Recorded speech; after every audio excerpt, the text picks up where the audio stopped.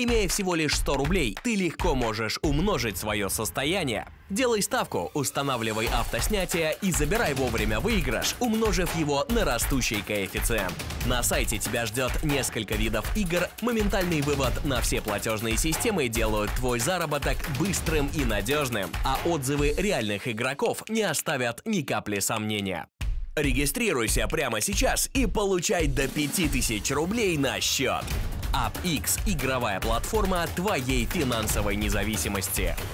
Привет, пиплы, и это вторая часть Наруто Рассекающий Демонов. Если этот сюжет вам нравится, то обязательно напишите об этом в комментариях, а если нет, то просто не смотрите его. Не нужно писать, чтобы я его забрасывал и продолжал тот сюжет, который понравился вам. Я помню про все свои сюжеты и выпускаю их по очереди. Надеюсь, вы все уяснили, желаю приятного просмотра. Ну и мы начинаем.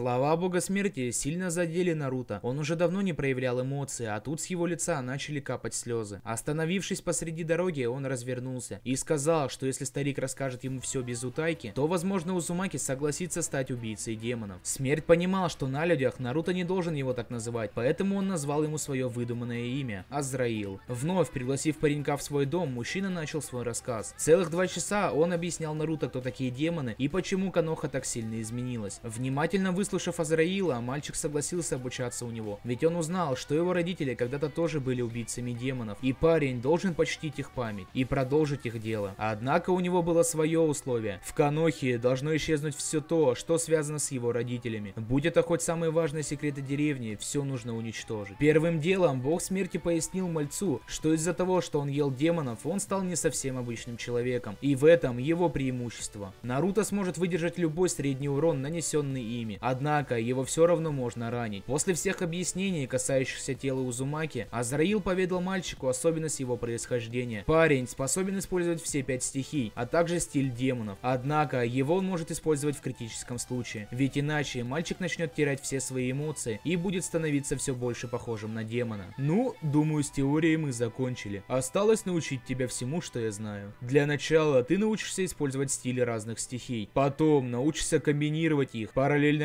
этому я буду развивать твою скорость. Ну и напоследок ты выучишь мой собственный стиль. У него всего две формы. Первая – это отражение. Ты сможешь отразить все атаки, направленные на тебя, обратно в противника. Неважно, насколько она мощная, отразится все, что угодно. Вторая – это поглощение. Ты сможешь поглотить любую атаку и за счет этого восстановить свои силы. Однако, у этих приемов есть лимит на использование. Не больше пяти раз в день. Иначе лишишься всех своих сил и будешь валяться как мертвый две недели. Понятно понятно. Судя по тому, что я услышал, ты являешься сильнейшим в этом мире. И раз ты истребляешь демонов, значит ты хороший человек. Почему тогда ты просто не уничтожишь Каноху и всех, кто использует кровь демонов? В твоих словах есть смысл. Однако, не все так просто. Без доказательств, такие как мы, ничего не сможем сделать. Безусловно, я могу убить всех и все закончится. Но я решил жить как обычный человек и подчиняться обычным правилам. Но это не значит, что я буду стоять в стороне. У нас с тобой есть ровно 4 года до нового набора убийцы демонов демонов. Все это время я буду тренировать тебя, а потом отправлюсь вместе с тобой. Мой знакомый Уракадаки тоже взял себе нового ученика, поэтому, возможно, за время твоих тренировок мы пересечемся. Ну, довольны этой болтовни. Пора начинать твое обучение. Тренировки Наруто к становлению убийцы демонов начались. Тем временем в Канохе ситуация становилась все хуже и хуже. Хирузен Сарутоби все сильнее и сильнее поддавался влиянию демонической крови. Он даже приказал членам Ангу втайне похищать младенцев для экспериментов, а Сакура Сакура и Саски успешно прошли операцию по увеличению своей силы. Им была дана кровь особых демонов. Их называли 12 демонических лун. На следующий день Саски решил проверить свои силы, поэтому он отправился на тренировочное поле. Придя туда, он призвал огромных демонов и сразился с ними. Его сила внушала страх. Всего за секунду он лишил демонов всех конечностей, а потом начал пить их кровь. Парень быстро догадался, что кровь каждого демона повышает его силу и дает нереальную мощь. Мальчишку уже давно не волновали волновали всякие мелочи по типу любовь или дружба. Ведь когда ему было 6 лет, третий Хакаги вместе с главой корня Анбу соблазнили мальца силой. И ради этой силы он даже был не против пожертвовать собственным кланом. Когда резня клана закончилась, мальчик стоял над трупами своих родных и смеялся как настоящий дьявол. Ему было плевать даже на своего старшего брата, которого он так сильно любил. Вырвав его глаза, он забрал их себе, а тела своих матери и отца отдал на исследование ученым Канохи. Хирузен знал, что этот парень рано или поздно станет его секретным оружием против других стран, поэтому он обеспечил мальчика всем, чем только можно. Та любовь и забота, которая должна была достаться Наруто, досталась Учихе. На следующий день Хирузен утвердил новое правило в деревне. Команда 7 официально стала его помощниками. Им было позволено все, вплоть до убийств тех, кто их ослушается. Воспользовавшись своим положением, Сакура убила свою бывшую лучшую подругу, Ина Яманака, а причиной этому стала ее любовь к Саске. Розоволосая знала о чувствах Яманака к Учихе, поэтому избавилась от проблемы, которая могла возникнуть в будущем. Также она силой заставила семью Яманака прислуживать ей. Тем временем Учиха совсем сошел с ума. Он приказал своим подчиненным принести все записи о техниках четвертого Хакаги, ведь Саске было мало просто убить Наруто. Он хотел заполучить все то, что принадлежало семье Узумаки. Какаши, в свою очередь, забавлялся с обычными шиноби своей деревни. Каждый, кто не проходил его тест, был убит. И как ни странно, но всех устраивало такое положение дел. Ведь им внушили, что без страха жизни не будет. А раз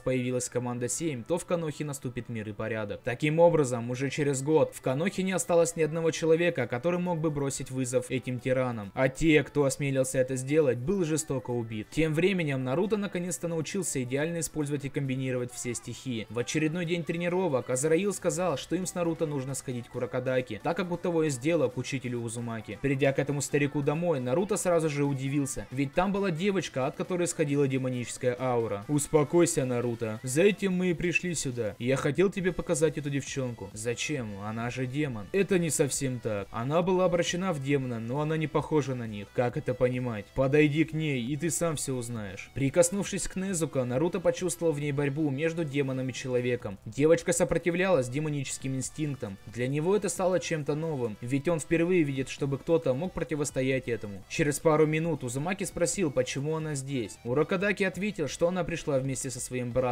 Старик в красной маске рассказал, что их семью убил тот, кто управляет всеми демонами. После этого разговора Наруто сжал кулаки, ведь он знал, что речь идет именно о том человеке, что убил его мать и отца. Осмотрев Незука, Азраил сказал, что Уракадаки делать, после чего они с Наруто отправились к себе домой. Выйдя наружу, Узумаки наткнулся на Танжера. Наруто понимал, что их ситуации похожи, поэтому он быстро нашел с ним общий язык, и они даже смогли подружиться. Они договорились встретиться через 4 года на экзамене убийц демонов. Однако бог смерти сказал, что Узумаки не будет его проходить. Два мальчика немного задумались, но Азраил сказал, что это все очень сложно объяснить, но волноваться им не о чем. Попрощавшись с Танжера, Наруто отправился на свои тренировки. Ровно 4 года Узумаки изучал все то, что умел бог смерти, и наконец время пришло. Уже завтра он отправится к месту, где собираются все убийцы демонов. На следующий день Азраил и Наруто уже были на полпути к месту встречи. Неожиданно они встретили Уракадаки, который также направлялся к этому месту. Блондин спросил у старика, где Танжера и его сестра, на что Уракадаки ответил, что прямо сейчас он проходит тот самый экзамен, о котором они разговаривали 4 года назад. Также Наруто вспомнил, что у него все еще нет катаны, однако Азраил сказал, что его клинок уже как два года ждет его в поместье убийц демонов. Узумаки будут единственные, у кого будет особенный клинок. Всю дорогу мальчик думал, что это за особая катана такая. Из-за своих размышлений он не заметил, как они пришли к месту встречи. Там было довольно мало народу, но позже пришли они. Столпы, сильнейшие убийцы демонов. Через пару часов пришли новички, которые проходили экзамен. На удивление Наруто, их было всего четверо. Одним из них был Танжера. Поздоровавшись со своим другом, Узумаки спросил, сложно ли было испытание. На что Танжера скорчил пугающее лицо и сказал, лучше бы ему об этом не знать. Когда все собрались вместе, появился он. Кагая Убаяшики. Однако, он сказал, чтобы все называли его Аяката сама. Поприветствовав новичков, он поздравил их с официальным вступлением в ряды убийц демонов. Также он подметил, что из-за некоторых обстоятельств некоторые новички будут работать в паре с одним из толпов. Многие смутились такому раскладу вещей. Однако Аяката пояснил, что среди них теперь есть бывший шиноби, от которого избавилась родная деревня. Но по счастливым обстоятельствам мальчик выжил и стал убийцей демонов. Аяката сама, к нам и раньше приходили шиноби. Почему именно сейчас вы решили создать команды? Дело в том, что этот мальчик ребенок двух бывших столпов, которые покинули нас 18 лет назад и вновь стали шиноби. Минуточку, вы говорите о Минато Сане и Кушине Саме? Верно, у нас со скрытыми деревнями был договор. Они не имеет права убивать наших людей, даже если они уже не убийцы демонов, а также не имеет права трогать их детей. Если они им не нужны, они должны были связаться с нами и отдать их под нашу опеку. Однако Каноха нарушил этот договор, и я хочу знать почему. Услышав эти слова, все столпы начали осматриваться и искать ребенка Мината и Кушины. Однако из-за того, что цвет волос Наруто больше не блондинистый, они его не нашли. А Яката попросил подойти людей, чьи имена он назовет. Первым был Танжера, вторым Зеницу, третьим Миноски, а четвертым стал Наруто. После чего он сказал, что они будут в одной команде с Тамиокой. Когда весь шум успокоился, Аяката сказал, чтобы все столпы и эти четверо прошли за ним. Он отвел их в комнату, где их уже ждал бог смерти и Уракадаки. Когда Тамиока присмотрелся к Наруто, он понял, что это сын Мината и Кушины, так как у мальчика были глаза его отца, а черты лица чем-то напоминали его мать. Усадив всех по местам, Аяката объяснил, что с этого момента остальные столпы будут работать в команде с Израилом и Уракадаки. Я чувствую, что ты хочешь задать мне пару вопросов, Наруто. Да, но задам их в другой раз. Ну что же, тогда, пожалуй, начнем. Азраил уже рассказал мне о твоей нынешней цели, но сделать это будет не так-то просто. За эти пять лет Каноха сильно изменилась. Проникнуть туда и остаться живым будет непросто. Я это знаю, однако, если этого не сделать, то кто знает, что они могут сделать с записями отца. К тому же, из рассказа учителя я понял, что отец совмещал приемы убийц демонов и техники шиноби. Одна из этих техник меня заинтересовала. Не то чтобы она мне необходима, просто если эти черви ее смогут выучить, будет досадно. Когда Наруто сказал свою речь, все ненадолго задумались. После чего Тамиока сказал, что речь скорее всего идет о печати бога грома. Техники телепортации, которую создал второй Хакаги, а Минато ее усовершенствовал. Когда Узумаки спросил, откуда он это знает, Тамиока ответил, что был учеником его отца и видел этот прием в действии. Смотря на Наруто, Шинобу улыбалась, после чего сказала, что он очень миленький. После этой фразы Узумаки немного смутился и отвернулся. Все тут же посмеялись, однако их смех прервал Азраил и сказал, что пора бы уже начинать действовать. Закончив со всеми разговорами, Аякат отправил Тамиоку и его команду в Каноху. Однако он направил их по пути, который займет неделю, а то и больше. Получив свое месячное пособие, Узумаки удивился, так как эта сумма в 4 раза превышала ту сумму, которую он получал в Канохе. Тамиока сказал, что пока они идут, им нужно будет познакомиться и как можно больше узнать друг о друге, так как теперь они команда. Тем временем Хирузен отправил команду 7 на задание, а также предоставил нового члена команды 7, Хьюга Неджи, который также прошел операцию по увеличению силы с помощью демонической крови. Их заданием было вырезать небольшую деревню, так как они отказывались платить деньги за свою безопасность. Получив информацию о местонахождении этой деревушки, команда 7 выдвинулась. Придя к месту выполнения задания, Учиха решил, что для начала им нужно попробовать здешнюю еду, чтобы потом было за что набить управляющему рестораном лицо. Зайдя в тот самый ресторанчик, Саски сразу же стал требовать, чтобы их немедленно обслужили, а иначе он сожжет тут все к чертям. Из-за сильного